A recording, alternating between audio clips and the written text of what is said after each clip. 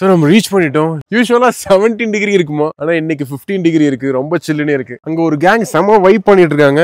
வாங்க நம்மளும் போய் சேர்ந்து வைப் பண்ணி என்ஜாய் பண்ணலாம். அப்பா லொக்கேஷன் பாருங்க வேற லெவல்ல இருக்கு. நல்லா கலர்ஃபுல்லா இந்த கைஸ் தான் செம வைப் பண்ணிட்டு இருக்காங்க. சாங் எல்லாம் பாடி கேம்ப் ஃபயர்லாம் போட்டு வேற லெவல் வைப் கண்டிப்பா இந்த கிளைமேட்டுக்கு கேம்ப் ஃபயர் ரொம்ப அவசியம் தான் இங்க அவைலபிளா இருக்கு. ஸோ நம்ம ரூம் வந்துட்டோம். ஸ்பேஷியஸான பெட் சீலிங் ரொம்ப ஹைட்டா இருக்கு. பயப்படாதீங்க. எனக்கு பயமா இருக்கும். சீலிங் ஹைட்டா இருந்தா. டோட்டலா இந்த இடத்துல ஒரு எயிட் பீப்புள் ஸ்டே பண்ணிக்கலாம். அந்த அளவுக்கு ரொம்ப ஸ்பேஷியஸா இருக்கு. ரெண்டு பெட் இருக்கு. இன்டர்லிங்க்டு பை கோகோ ரெசார்ட் வாங்க போய் சாப்பிடலாம். சாப்பாடு வந்துடுச்சு. சிக்கன் கிரேவி எமிட்டிங்கா இருக்கு. இங்க பாருங்க.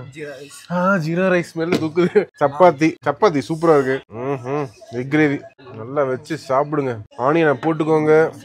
லெமனை இப்படி இப்படி எடுத்து இருங்க. சில்லி இருக்கான்னு பாக்குறேன். இருக்கு இருக்கு. சில்லி இப்படி வச்சு லெமனை லைட்டா இப்படி புழிஞ்சு